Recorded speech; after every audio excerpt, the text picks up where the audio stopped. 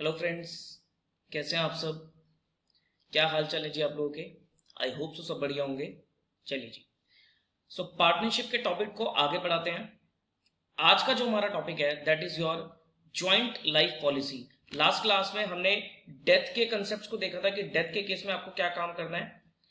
आज जो हम डिस्कस करने जा रहे हैं that is your concept of joint life policy JLP का कंसेप्ट डिस्कस करने जा रहे हैं, जो ज़्यादातर यूज़ किया जाता है in the question of death and retirement. लेकिन एडमिशन और चेंज इन पीएसआर में भी यूज़ हो जाता है, लेकिन ज़्यादातर उसकी जो इम्प्लीकेशन रहती है, वो डेथ के चैप्टर में या रिटायरमेंट के चैप्टर में रहती है। तो उसी चीज़ को हम आज स्टार्ट करने जा रहे हैं। सबसे पहले जेएलपी करेंगे, उसके बाद फिर मैं आपको क्वेश्चंस की तरफ़ लेके जाऊँगा। आई जी।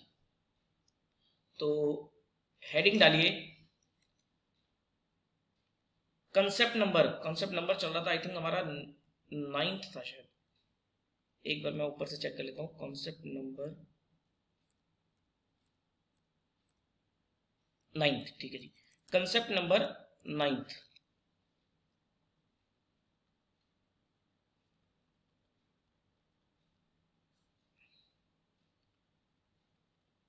joint life policy जिसको हम शॉर्ट में जेएलपी भी कहते हैं। अगर आपने कभी जेएलपी पहले पढ़ रखा है ट्वेल्थ क्लास में तो खैर ये कोर्स में होता ही नहीं है, लेकिन अगर आपने कभी बीकॉम लेवल पे भी जेएलपी पढ़ रखा होगा या कहीं भी अगर जेएलपी पढ़ा होगा तो सर उस कॉन्सेप्ट को बिल्कुल भूल जाना। एक डिफरेंट तरीके से, एक नए तरीके से और कंसेप्चुअली हम इस टॉपिक को डिस्कस करेंगे। ठीक है? तो पहले इसके बारे में कुछ पॉइंट्स लिखते हैं, फिर हम इसकी चर्चा शुरू करते हैं। लिखो। JLP means insurance of partners on joint basis.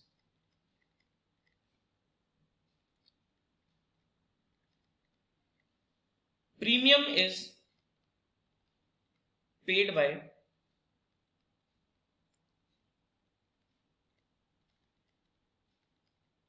partnership firm and it is asset of firm. It is asset of firm. If any partner dies JLP reserve is just like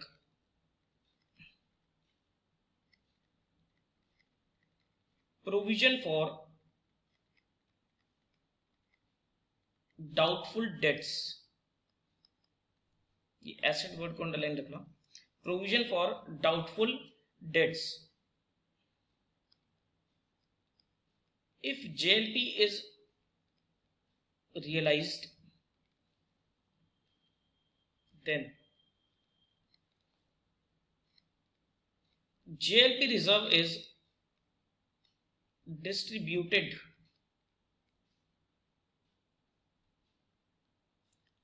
among partners. Among partners. लिखो steps on death. Steps on death कि death के case में क्या steps होंगे? देखो death के case में थोड़े स्टेप डिफरेंट रहते हैं और admission retirement change in PSR में थोड़े स्टेप्स डिफरेंट रहते हैं। तो अगर डेथ का केस होगा तो क्या होगा? सबसे पहला point JLP reserve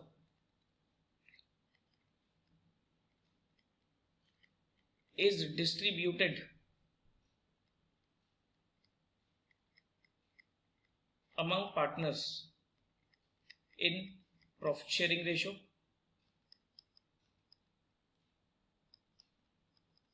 Policy amount. Is treated as asset of firm.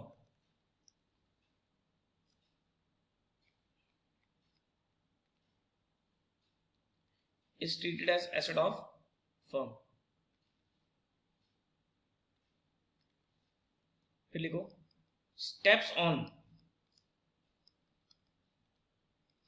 admission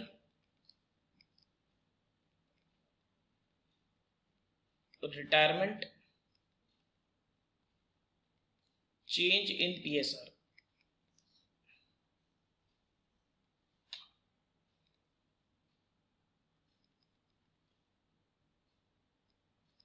JLP reserve is not distributed among partners JLP reserve distribute नहीं होता and second point is surrender value of policy is treated as asset. Policy amount is irrelevant. Policy amount is irrelevant इस point को note करो पहले एक बार। हाँ जी। इस point को नोट करो, फिर मैं आपको एक एग्जांपल लिखवाता हूँ, फिर हम इस कंसेप्ट को बनाते हैं हाँ।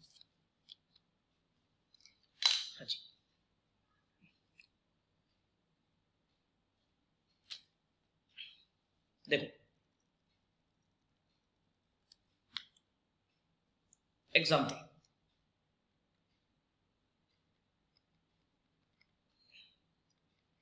a firm has following policies. A firm has following policies. On policy amount on मतलब किसकी है? पॉलिसी अमाउंट सरेंडर वैल्यू और यहाँ आपको दे रखा है रिज़र्व ठीक है जी? ए की पॉलिसी बी की पॉलिसी सी की पॉलिसी और ज्वाइंट पॉलिसी ए की पॉलिसी का अमाउंट कितना है? पचास हज़ार। बी की पॉलिसी का अमाउंट है सत्तर हज़ार सी की पॉलिसी का अमाउंट है अस्सी हज़ार और ज्वाइंट लाइफ पॉलिसी का अमाउंट है एक लाख।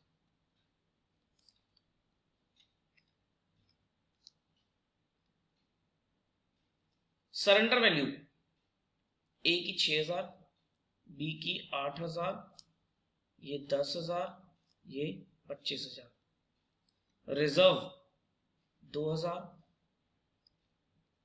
एक हज़ार, दस हज़ार और पंद्रह हज़ार। ठीक है जी।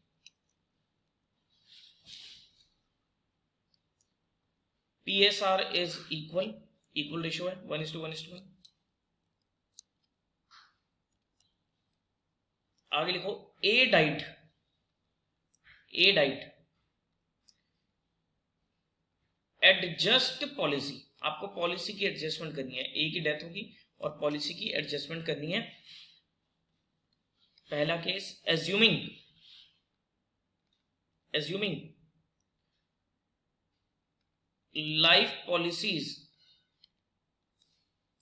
and reserve are not in books कि लाइफ पॉलिसी और रिज़र्व बुक्स में नहीं है। और second assuming life policies and reserve are in books ठीक है? जी नोट करो क्वेश्चन हाँ जी, इसको नोट करो, फिर हम इस कंसेप्ट को समझते हैं। ये कंसेप्ट क्या है? अब देखते हैं ये कंसेप्ट क्या है। सुना इधर ध्यान से। देखो जी, ये है insurance company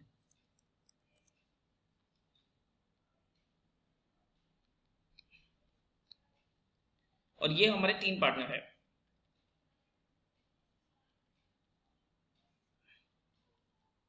partner A B और सी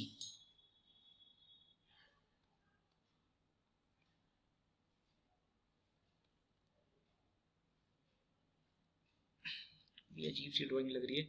इसको मैं हटा देता हूँ। एक सिंगल सिंगल लाइन बना देता हूँ। देखो जी, ये क्या है? ये एक तरीके से मैंने छाता बना दिया। ये छाता है, ठीक है? तो समझ लेना थोड़ा सा ये छाता है, ठीक है? ये कंपनी क्या करी है? ये कंपनी इन्हें कवर दे रही है। ये कंपनी ने क्या प्रोवाइड कर रही है? कवर प्रोवाइड कर रही है। देखिए इंश्योरेंस क्या होता है? Insurance is a risk cover provided by the company provided by the insurance company उसके लिए क्या पे किया जाता है? प्रीमियम पे किया जाता है। प्रीमियम कौन पे कर रहा है? प्रीमियम पे कर रही है जी firm partnership firm partnership firm insurance company को प्रीमियम पे कर रही है और तीनों पार्टनर्स की लाइफ को वो क्या करा रही है जी? सिक्योर करा के चल रही है। देखो, क्या होता है कि पार्टनर टैलेंटेड है। किसी भी पार्टनर के चले जाने से फर्म को नुकसान हो सकता है। तो इसलिए फर्म क्या करती है जी? उनका इंश्योरेंस करा के रखती है। अब एप्पल के जो ओनर थे स्टीव जॉब्स उनकी डेथ हुई। तो स्टीव जॉब्स के जाने से एप्पल कंपनी को एक धक्का लगा। क्यों धक्का लगा? क्योंकि सर एप्पल की जितनी भी क्रिएटिविटी थी, वो किसके पास थी? वो तो स्टीव जॉब्स के पास थी। तो एप्पल कंपनी ने स्टीव जॉब्स का क्या करा रखा थी? लाइफ इंश्योरेंस करा रखा था। प्रीमियम कौन पे करता था? प्रीमियम तो एप्पल कंपनी पे करती थी। लेकिन इंश्योरेंस किसका हो रखा था जी? स्टीव जॉब्स का हो रखा था। यानी कि अगर स्टीव जॉब्स गए तो स्टीव जॉब्स के जाने के बाद, डेथ के बाद इंश्योरेंस कंपनी से कंपनी को कुछ ना कुछ एक क्या मिला जी? अमाउंट मिला जिसको कंपनी यूटिलाइज करती है। तो सेम केस इसमें कि अगर ए की डेथ होगी, या बी की डेथ होगी, या सी की डेथ होगी तो फर्म को क्या मिलेगा जी? एक पॉलिसी अमाउंट मिलेगा। कितना कितना पॉलिसी अमाउंट मिलेगा? देखो, अगर ए की डेथ होगी तो फर्म को पचास हज़ार मिलेंगे। बी की डेथ होगी तो फर्म को सत्तर हज़ार मिलेंगे और सी की डेथ होगी तो फर्म को अस्सी हज़ार रुपए मिलेंगे। ये मैंने ऊपर लिखवा रखा ये मैंने ऊपर लिखवा रखा है। ये पॉलिसी अमाउंट क्या होता है? ये पॉलिसी अमाउंट होता है कि डेथ अगर हो जाएगी तो कितना कितना अमाउंट मिलेगा। एक एक पॉलिसी फर्म ने क्या ले रखी है? कंबाइंड ले रखी है तीनों की। एक तीनों की पॉलिसी कंबाइंड ले रखी है। ये पूरा चाहता है, जो कि तीनों को कवर करके चलता है। तो कहने का मतलब क्या हुआ? दिस इज़ नोन है ज्वाइंट लाइफ पॉलिसी कहने का मतलब क्या हुआ, सर, अगर ए की डेथ हो जाए, या बी की डेथ हो जाए, या सी की डेथ हो जाए, तीनों में से अगर किसी की भी डेथ हो जाए तो कितना अमाउंट मिलेगा? अमाउंट मिलेगा जी एक लाख रुपए। अमाउंट कितना मिलेगा? एक लाख रुपए। तो ये ज्वाइंट लाइफ पॉलिसी का पॉलिसी अमाउंट है। ज्वाइंट लाइफ पॉलिसी क्या हुई? Sir joint life policy is a policy taken over by the firm for the death of to secure any of the partner of the firm मतलब अगर किसी की भी partner की death हो जाती है तो फर्म को क्या मिलेगा? एक पॉलिसी अमाउंट मिलेगा, जिसे हम बोलते हैं joint life policy accounting purpose के लिए ध्यान रखना अकाउंटिंग पर्पज के लिए आपको जेएलपी को एक एसेट ट्रीट करके चलना है। अकाउंटिंग पर्पज के लिए आपको ज्वाइंट लाइफ पॉलिसी को एक एसेट ट्रीट करके चलना है दैट्स इट जब आपके दिमाग में आ जाएगा, सर, एक एसेट है और आपको पता है कि डेथ हो रिटायरमेंट हो एडमिशन हो, हमें एसेट की रीवैल्यूएशन करनी पड़ती है, तब आप अपना काम कर जाओगे। तब आप अपना काम कर जाओगे। जब आपको यह पता लग जाएगी एसेट की रीवैल्यूएशन करनी होती है, तब आप अपना काम कर जाओगे। अब मुझे एक चीज़ बताओ छोटी सी, कि सर, अगर मान लो किसी की भी डेथ होती है तो सर पॉलिसी अमाउंट किसको मिलेगा? क्या उस पर्सन को मिलेगा या फॉर्म को मिलेगा? अगर ए बी सी किसी की भी डेथ हो जाती है, या तीनों की डेथ हो जाती है तो अमाउंट किसको मिलेगा? इंश्योरेंस कंपनी से जो पॉलिसी का अमाउंट है, वो किसको मिलेगा? वो फर्म को मिलेगा, क्योंकि फर्म ने प्रीमियम पे किया है। और सर फर्म को जब मिलेगा ना तो फर्म कुछ नहीं करेगी। फर्म ये जो अमाउंट मिलेगा, वो उस पार्टनर्स को डिस्ट्रीब्यूट कर देगी। इन द पीएसआर यानी कि इंश्योरेंस कंपनी तो फॉर्म को पैसा दे देगी। अब फॉर्म की ड्यूटी बनती है कि वो पैसा डिस्ट्रीब्यूट कर दिया जाए between the partners in the profit sharing ratio क्योंकि सर फॉर्म को कौन चला रहा है? फर्म को पार्टनरशिप चला रहा है। पार्टनर्स का ही तो पैसा लगा हुआ है फॉर्म में। ठीक है जी? अब मुझे बताओ, अगर मान लो इफ़ ऑल पार्टनर्स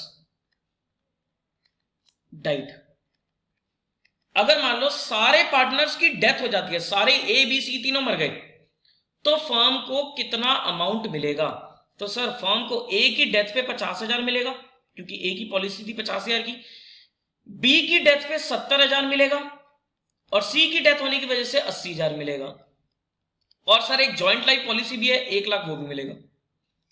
जीएलपी अलग है और तीनों की सेपरेट पॉलिसी वो अलग है। तीनों की सेपरेट पॉलिसी का तो अमाउंट मिलेगा ही मिलेगा और साथ में जीएलपी तो जीएलपी का अमाउंट कब मिलेगा? जीएलपी का अमाउंट तो सर किसी की भी डेथ हो जाए, मिलेगा। किसी की भी डेथ हो जाए, मिलेगा। तो कहने का मतलब ये क्या हो गया कि सर फर्म को कितने रुपए का एसेट मिलेगा?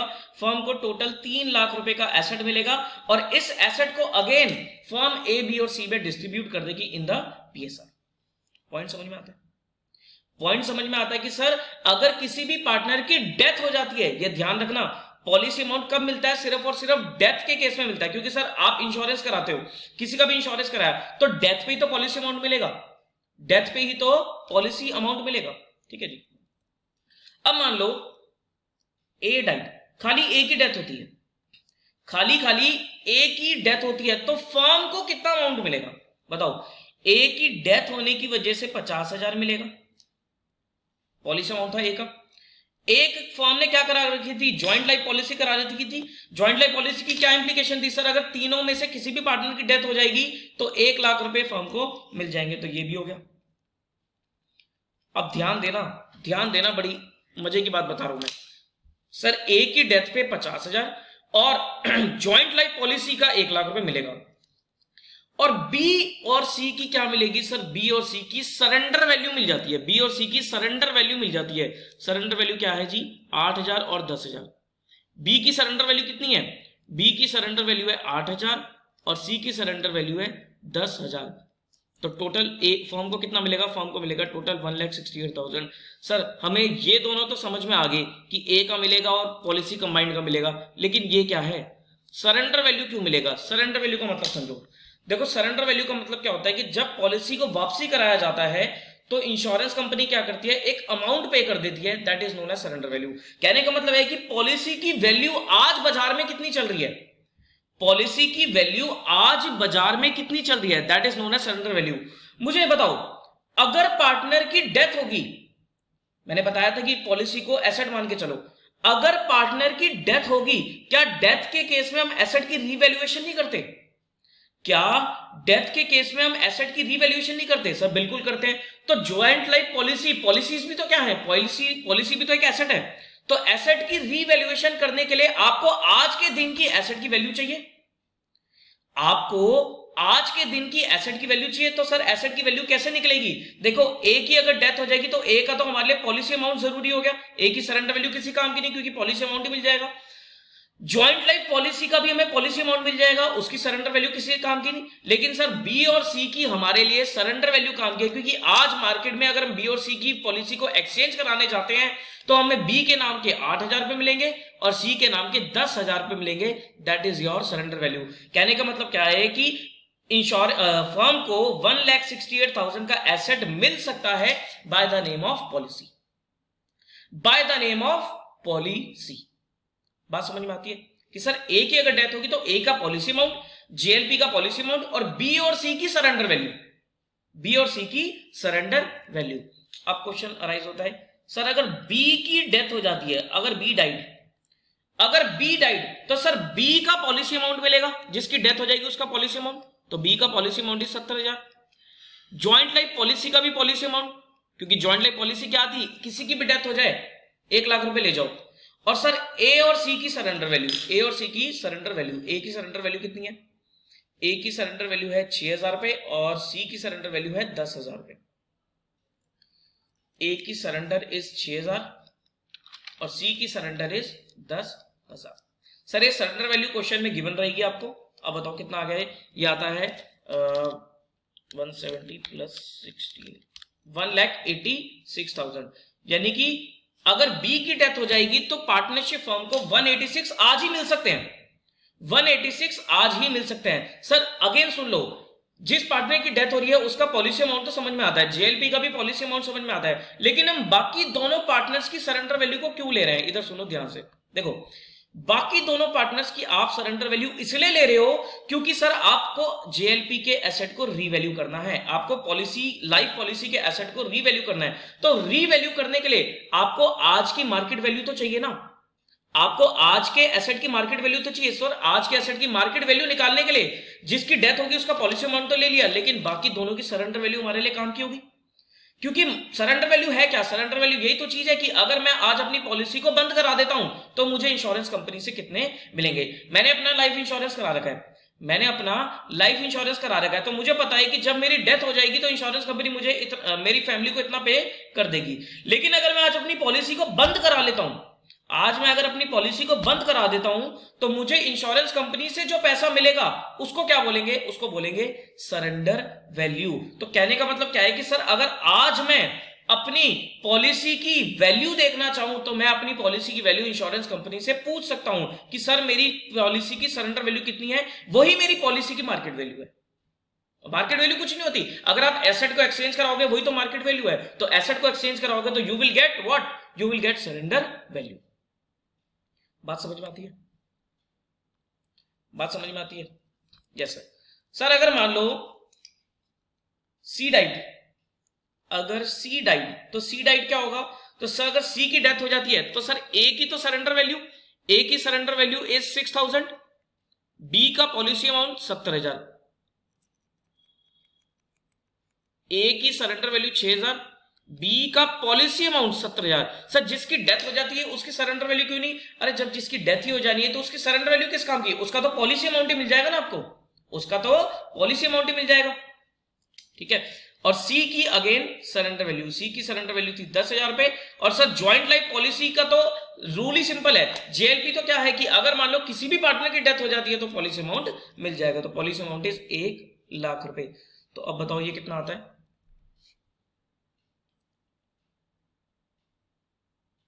ये आता है क्या ले लिया मैंने गलत ले लिया।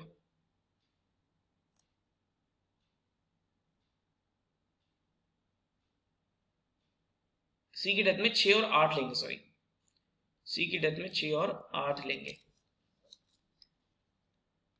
आठ हज़ार। और सी का पॉलिसी अमाउंट कितना था? सी का पॉलिसी अमाउंट इज़ अस्सी हज़ार। ये सत्तर नहीं आएगा, अस्सी आएगा।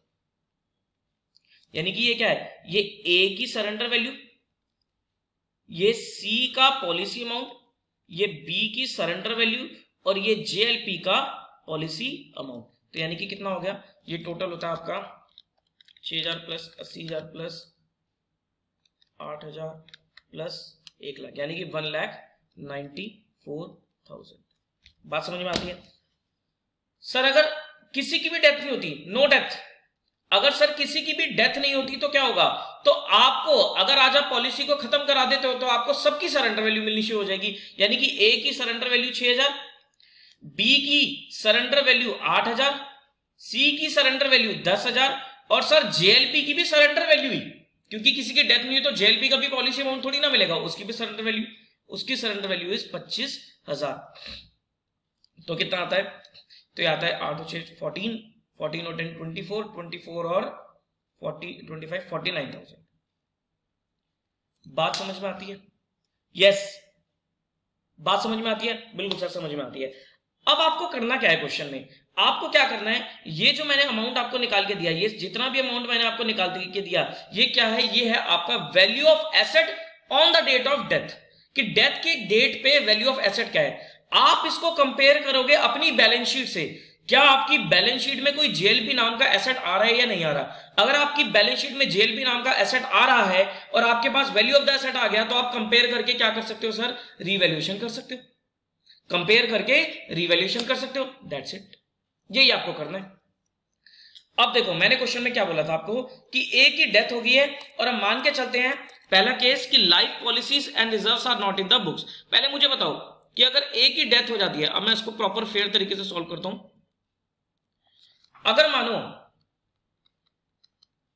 ए की डेथ होगी ए डाइट तो मुझे आप वैल्यू ऑफ़ एसेट बताओ। सर, अगर ए की डेथ होगी तो वैल्यू ऑफ़ एसेट क्या होगा? ए का तो पॉलिसी अमाउंट मिलेगा पचास हज़ार। ये क्या है पॉलिसी अमाउंट बी की सरेंडर वैल्यू आठ हज़ार। सी की भी सरेंडर वैल्यू दस हज़ार। और सर जेएलपी का पॉलिसी अमाउंट मिलेगा एक लाख। तो टोटल आपको कितने मिल सकते हैं? One lakh sixty eight thousand ये पॉइंट समझ में आता है? ये पॉइंट समझ में आता है? कि सर, जिसकी भी डेथ होगी, उसका तो पॉलिसी अमाउंट मिलेगा ही मिलेगा, लेकिन किसी की डेथ नहीं हो रही है तो उसकी सरेंडर वैल्यू हम इसलिए ले रहे हैं क्योंकि हमें आज के दिन की market value of the asset निकालनी है। और मार्केट वैल्यू के लिए आपके लिए सरेंडर वैल्यू काम की है। सरेंडर वैल्यू कुछ नहीं है, सर। जो वैल्यू आपको कंपनी से मिलेगी आज that is known as surrender value that is known as surrender value अब मुझे बताओ। हाँ जी। केस नंबर वन क्या था? कि if JLP is not appearing in the books कि जेएलपी बुक्स में नहीं आ रही है और रिज़र्व भी नहीं आ रहा। Sir book value of the asset कितनी हुई? अगर बुक्स में नहीं आ रही है तो book value of the asset is nil book value of the asset is nil. Sir, reserve क्या होता है? रिज़र्व कुछ नहीं होता। रिज़र्व एक तरीके से आप मान के चलो कि आपने एक अलग से जेएलपी के नाम का रिज़र्व बना रखा है। तो पहले केस में तो मैंने क्या बोल दिया कि रिज़र्व बुक्स में नहीं है तो आपके लिए किसी काम का नहीं है। वैसे रिज़र्व होता क्या है? रिज़र्व मीन्स आपने एक जेएलपी के नाम का रिज़र्व बना रखा है। ये एक तरीके से प्रोविज़न फॉर डाउटफुल डेट्स ही है। जैसे अगर आप जेएलपी को बोलो डेटर्स है, और रिज़र्व क्या हो गया? प्रोविज़न फॉर डाउटफुल डेट्स तो सर रिज़र्व भी नील है। रिज़र्व भी क्या है? नील है। तो मुझे बताओ। Hence life policy will be revalued up to one lakh sixty eight thousand तो एंट्री क्या बनेगी? Entry will be life policy account debit to A to B to C to A to B to C sir ये क्या हुआ? It means what is this sir इसका मतलब ये हुआ कि इंश्योरेंस कंपनी को one lakh sixty eight thousand मिल सकते हैं और फर्म को मिलेंगे वन सिक्सटी एट और फर्म क्या करेगी? वन सिक्सटी एट को डिस्ट्रीब्यूट कर देगी बिटवीन द पार्टनर्स तो one lakh sixty eight thousand और इसको पार्टनर में डिस्ट्रीब्यूट कर दो। हमने इक्वल रेशियो रखी थी क्वेश्चन में। तो one sixty eight divided by three तो ये आता है fifty six thousand fifty six and fifty six बात समझ में आती है? हाँ जी। बताइए जी। अब मान लो सेकंड केस क्या आता है कि sir life policy is in the books is in the books अब मुझे बताओ सर बुक्स में क्या आता है? बुक्स में क्या आ रहा होगा? क्या बुक्स में पॉलिसी अमाउंट आएगा? नहीं सर पॉलिसी अमाउंट तो डेथ के केस में मिलेगा। बुक्स में हमेशा क्या आती है? बुक्स में सरेंडर वैल्यू आती है। और सर बुक्स में रिज़र्व आता है। यानी कि हमारी बैलेंस शीट में सरेंडर वैल्यू शो कर रही है। कितनी है टोटल सरेंडर वैल्यू करोगे तो ये बनती है आपकी फोर्टी नाइन थाउज़ेंड और रिज़र्व का टोटल करोगे तो ये बनता है दस ग्यारह बारह तेरह यह बनता है अट्ठाईस हज़ार। यानी कि हमारी बैलेंस शीट में पॉलिसी के नाम की सरेंडर वैल्यू आ रही है कितने की? फोर्टी नाइन थाउज़ेंड की। और एक हमारी बैलेंस शीट में रिज़र्व आ रहा है कितने का? ट्वेंटी एट थाउज़ेंड का। तो आपको क्या करना है? अब मुझे बताइए आपके हिसाब से एसेट की वैल्यू कितनी है? आपके हिसाब से एसेट की वैल्यू है one lakh sixty eight thousand sir one lakh sixty eight thousand का एसेट है और फोर्टी नाइन थाउज़ेंड का एसेट आपकी किताबों में आ रहा है। 168 का एसेट है आपके पास और 49 का एसेट किताबों में आ रहा है। यानी कि डिफरेंस से आप क्या करोगे? एसेट को बढ़ाओगे एसेट को रिवैल्यू करोगे। तो your entry will be life policy account debit that is 168 minus 49 2 a to b and to c. कितना हो गया? 168 माइनस 49 नॉर्मल में क्या कर रहा हूँ? सर नॉर्मल एक तरीके से रिवैल्यूएशन ही तो है। हाँ जी। 119 डिवाइडेड बाय 3 तो ये बनता है आपका three nine six six seven, three nine six six seven, और ये कितना हो जाएगा?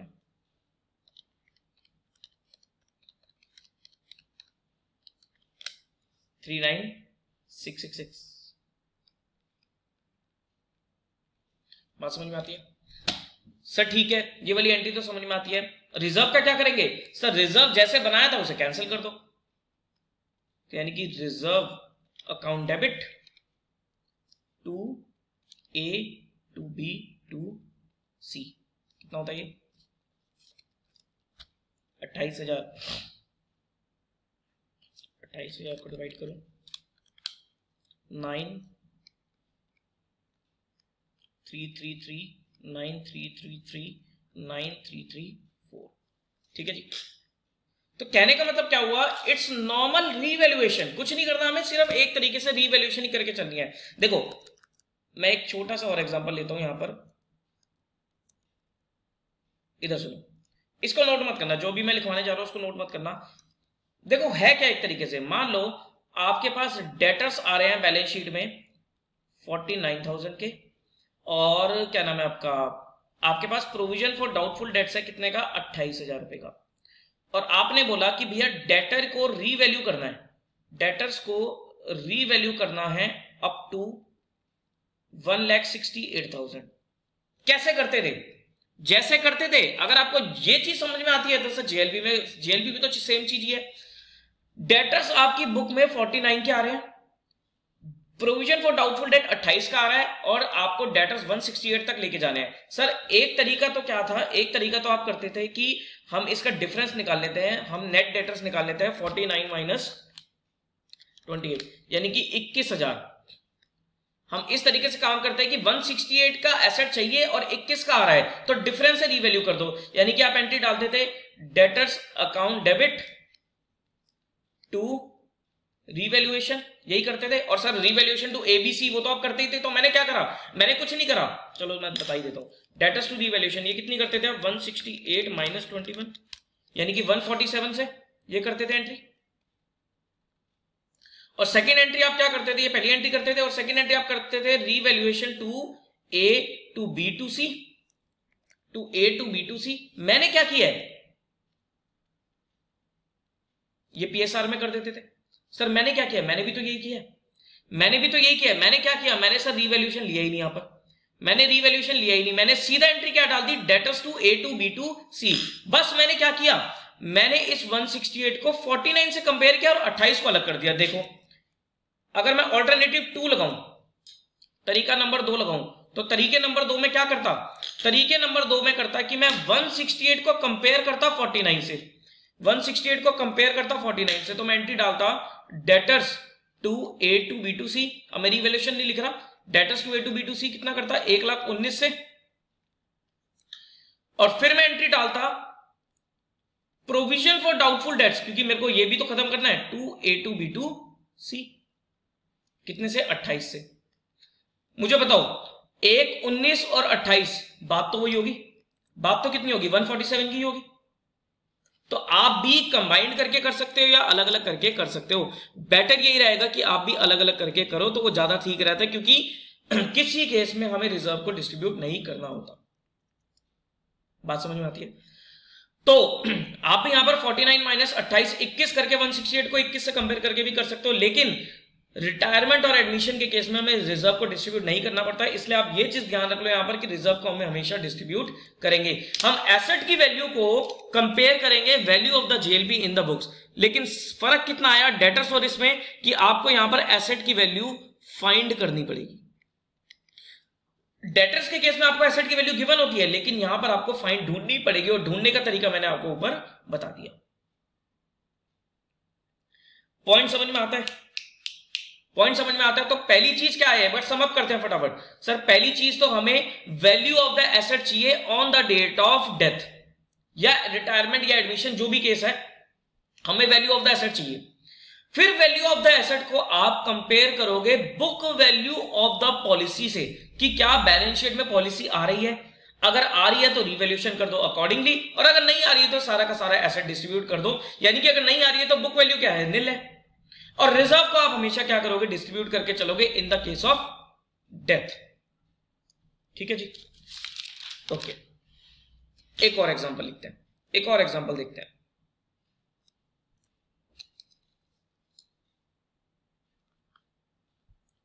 लिखो। Policy amount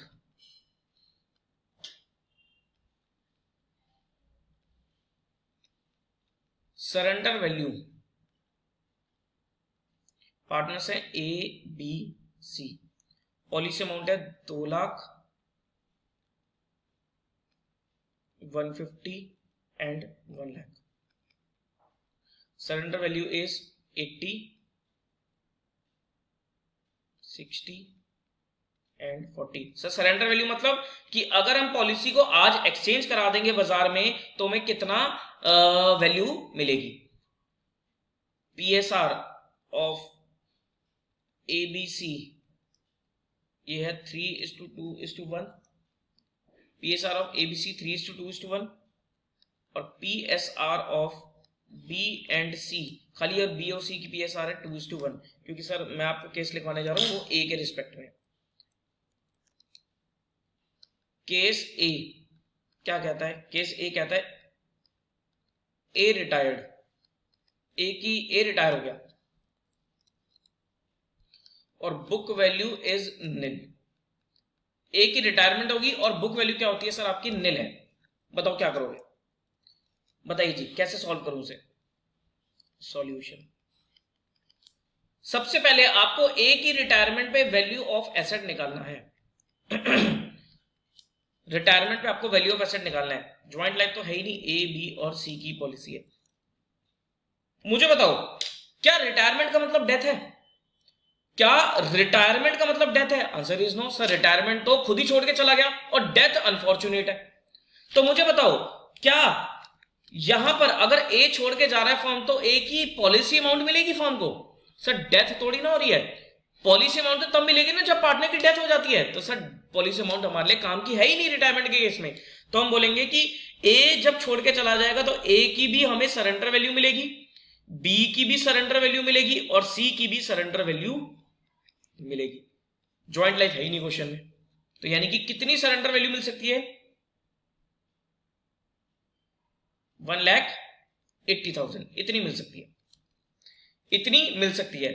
बुक में पॉलिसी का अमाउंट कितना आ रहा है? बुक वैल्यू इज़ नील तो हम क्या बोलेंगे? हम सीधी सीधी एंट्री डालेंगे life policy account debit to A to B to C 180 को आप डिस्ट्रीब्यूट कर दोगे in the ratio three is to two is to one तीन, चार, पाँच, छह one eighty ninety sixty ninety sixty and thirty बात समझ में आती है? बात समझ में आती है कि सर रिटायरमेंट के केस में हमारे लिए तो सरेंडर वैल्यू ही काम की होगी ना, क्योंकि पॉलिसी अमाउंट तो मिलेगा ही नहीं। अब अगर मान लो, मैं ये कह दूँ आपको कि सर लाइफ पॉलिसी देखो, इस एंट्री से तो लाइफ पॉलिसी हमारी बैलेंस शीट में आने लग जाएगी एक अस्सी की। लेकिन मैं आपको कहता हूँ कि इस तरीके से एडजस्ट करो कि लाइफ पॉलिसी बुक्स में नहीं आने चाहिए। यानी कि अगर मैं बोल दू if life policy is not to appear in the books तो क्या करोगे? सर अगेन जैसे गुडविल की एडजस्टमेंट सिखाई थी, वैसे ही करना पड़ेगा। मेमोरेंडम केस हो गया मेमोरेंडम वाला टॉपिक करा रखा मैंने आपको। एबीसी क्रेडिट कि सर मिलना क्या चाहिए था? मिलना चाहिए था नब्बे, साठ और तीस। लेकिन ए के चले जाने की वजह से मिलेगा क्या क्या मिलेगा थ्री इज़ टू और टू इज़ टू वन की रेशियो में, यानी कि one eighty divided by three one twenty and sixty ये मिलेगा। ये मिलेगा। बताइए जी। यानी कि नब्बे हज़ार क्रेडिट सिक्सटी डेबिट और thirty debit entry will be entry will be B debit C debit to A sixty thirty and ninety बताइए। बात समझ में आती है? ये तो हो गया केस कि अगर लाइफ पॉलिसी को बुक्स में अपियर नहीं करना। ये तो था रिटायरमेंट का केस केस बी लिखो। केस बी अगर मान लो ए डाइट ए की डेथ हो जाती है और बुक वैल्यू निल है, बुक वैल्यू निल है तो क्या होगा? सर, अगर ए की डेथ हो जाती है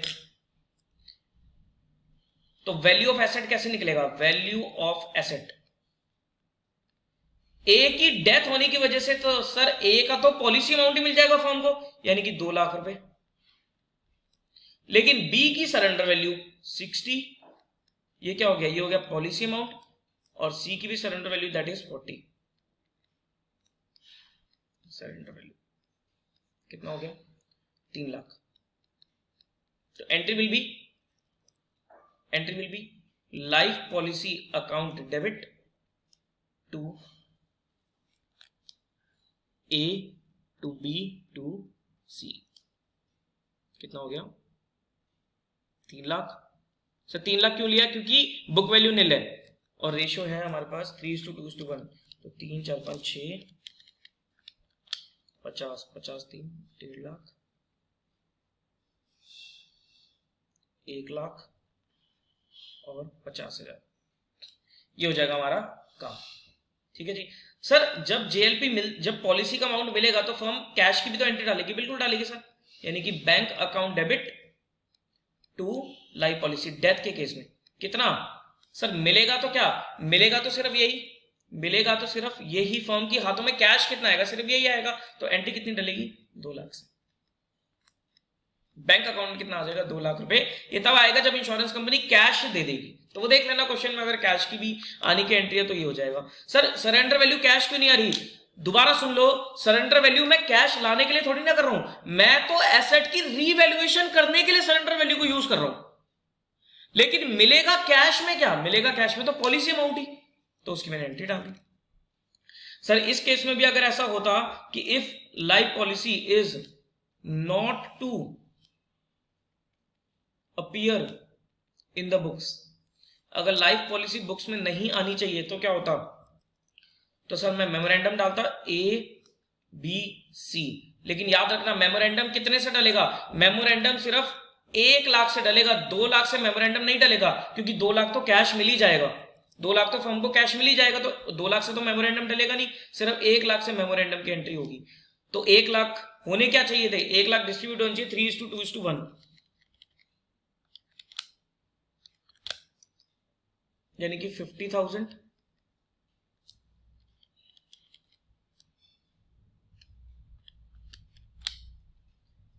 thirty three thousand three thirty three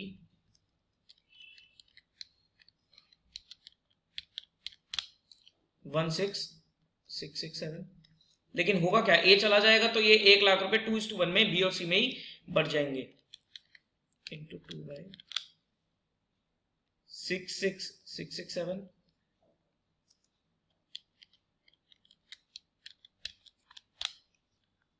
thirty three thousand three hundred and thirty three तो बताइए what will be the entry पचास हज़ार से ए क्रेडिट और ये हो गया six six six six seven minus three three three three three three four से बी डेबिट और ये हो जाएगा इसी में हो जाएगा नहीं three three three three minus one one six six six six से ये डेबिट तो entry will be adjustment entry will be B debit C debit to A B debit three three three three four one six six six six और पचास हज़ार। बात समझ में आती है? यस बात समझ में आती है? यस सर समझ में आ गई। तो इस तरीके से आपको क्वेश्चन करके चलने पड़ेंगे। आपको ढूंढना पड़ेगा क्वेश्चन में क्या है। दोबारा सुन लो, थोड़ा सा, मैं मानता हूँ, थोड़ा सा दिमाग लगाने वाला टॉपिक है। तो इधर सुनो ध्यान से। एक बार फटाफट इसको समाप्त करते हैं। सर जेएलपी के केस में जेएलपी को आप नॉर्मल एसेट मान के चलो कि एक एसेट है मेरा। और जेएलपी रिज़र्व एक तरीके से प्रोविज़न फॉर डाउटफुल डेट्स है। आप मान लो जेएलपी हमारा डेटर है और provision for doubtful debts reserve हमारे क्या है? प्रोविज़न फॉर डाउटफुल डेट्स है। काम करके उस हिसाब से चलना है। देखो, अगर डेथ का केस है तो आपको देखना पड़ेगा पॉलिसी अमाउंट जिसकी भी डेथ हो रही है, उसका पॉलिसी अमाउंट अगर कंबाइंड पॉलिसी है तो पॉलिसी अमाउंट उसका रेलेवेंट हो जाएगा। बाकी दोनों पार्टनर्स की आपको क्या लेना पड़ेगा? सरेंडर वैल्यू हमारे लिए काम की हो जाएगी। लेकिन सर, अगर डेथ का केस नहीं है एडमिशन है रिटायरमेंट है, या चेंज इन पीएसआर है तो पॉलिसी अमाउंट हमारे किसी काम का नहीं है। सारा काम हमें किससे करना है जी? सरेंडर वैल्यू से करके चलना है। जब भी आपको पॉलिसी अमाउंट मिलेगा तो फॉर्म के हाथों में कैश भी आएगा तो कैश की भी एंट्री आपको पास करके चलनी पड़ेगी। ठीक है जी? पहले फॉर्म के पास अमाउंट आएगा नॉर्मल रिवैल्यूशन करके, फिर फॉर्म क्या करेगी? डिस्ट्रीब्यूट करेगी। तो आप रिवैल्यूशन के थ्रू अगर एंट्री को ट्रीट करना चाहो तो वैसे भी कर सकते हो, और डायरेक्टली आप पार्टनर्स कैपिटल में डालना चाहो तो वैसे भी डाल सकते हो। रिवैल्यूशन के थ्रू डालोगे तो एंट्री क्या बनेगी? जेएलपी टू रिवैल्यूशन फिर रिवैल्यूशन से पार्टनर्स कैपिटल अकाउंट में आएगा। लेकिन अगर आप डायरेक्टली डालना चाहो तो क्या डालेगी? Policy account debit to partners capital account better ये रहेगा डायरेक्टली डाल दो तो आपके लिए ज़्यादा कन्वीनियंट रहेगा। ठीक है जी? टेक्निकल लगता है तो सर वीडियो को दोबारा देख लेना। लेक्चर को दोबारा देख लेना इस जेएलपी के टॉपिक को, क्योंकि ये दो तीन बार देखोगे, एक दो बार देखोगे, तब आपको क्लियर हो जाएगा। क्योंकि क्वेश्चन में हमें इसे यूज़ करके चलना है। ढूंढना पड़ेगा आपको कि जेएलपी बुक्स में आ रही है या नहीं आ रही है। अगर जेएलपी बुक्स में आ रही है तो डिफरेंस अमाउंट से रिवेल्यूशन होगी। अगर जेएलपी बुक्स में नहीं आ रही है तो सर, पूरा पूरा जो एसेट की वैल्यू है, वही हमारा क्या हो जाएगा डिस्ट्रीब्यूट हो जाएगा। क्लियर है जी? चलो। अब हम देखते हैं इसके क्वेश्चंस